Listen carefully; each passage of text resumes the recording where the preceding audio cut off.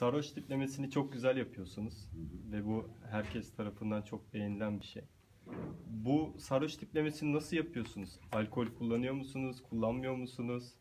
Yani bu nereden çıkıyor bu komedi? Şimdi iyi oyuncular, iyi oyuncuların arşivi gözlemdir. İyi oyuncular nötr kişilerdir. İyi oyuncular turnusol kağıdı gibidir. Yani beyaz bir tuvaldir iyi oyunculuk. Boyalı bir tuval değildir. Bir resmi bozup üstüne başka bir resim yapmazsınız. Onun için iyi oyuncu gözlem yapan, sağlıklı, gözlemlerini iyi damıtan, iyi süzen kişilerdir, iyi oyuncular. Hayata doğru bakan, dürüst, ayakları yere basan insanlardır. Benim sarhoşlukla ilgili gözleme dayalı bir şeyim var, tecrübem var.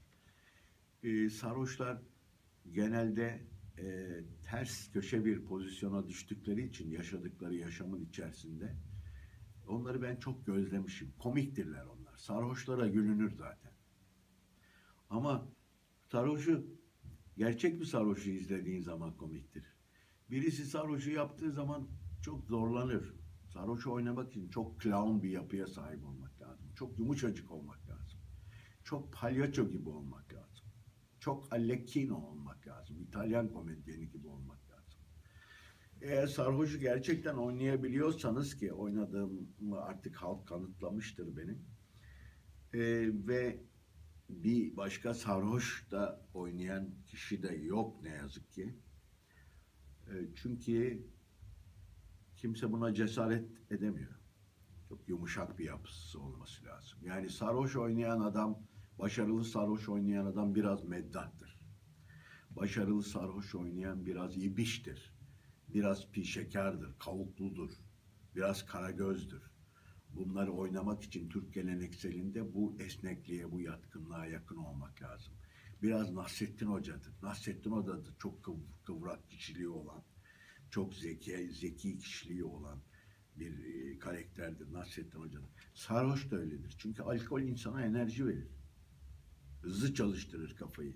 Vücut evet biraz peltekleşir ama sarhoşun verdiği cevaplar çarpıcıdır. Enerjik cevaplardır komik cevaplardır.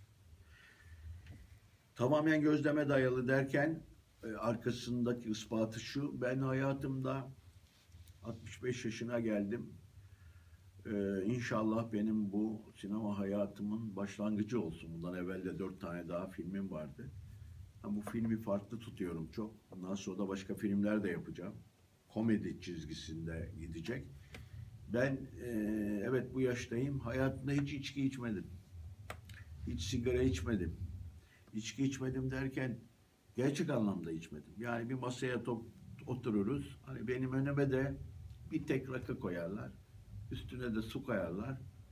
Bu saatlerce benim masamda durur. Ben de insanlara eşlik ederim. O bardağı kaldırırım. En fazla bir tek rakı içerim yani. O ayda yılda bir. Özellikle oturayım, içki içeyim, şunu içeyim, bunu içeyim. Böyle bir huyum yoktur. Bunu zaten bütün Türkiye biliyor. Ha, bu konuda üstüme gelirler, o ay yaş derler, alkolik derler falan filan ama halk çok iyi biliyor ki ben içki içmiyorum. Sigara da hiç içmedim. Yani tek tük tellendirdiğim olmuştur yani ama sigara ve alkol kullanmıyorum. Keşke kimse kullanmasa. Onda yani sigaranın ne kadar rahatsız edici, ne kadar hasta edici bir şey olduğunu biliyoruz. Hoşuma gitmiyor açıkçası. Alkol de keza öyle. Kimseye alkol içmesini de tavsiye etmiyorum. Bir de bu insanlar e, sadece kendilerini değil, çevreyi de kirletiyorlar açıkçası. İzmaritleriyle, kırıp döktükleriyle etrafı kirletiyorlar. Zaten bizim bu filmimizde de e, bu anlatılıyor. Yani filmin sonunda işte bu sarhoş şeyi bırakıyor, alkolü bırakıyor.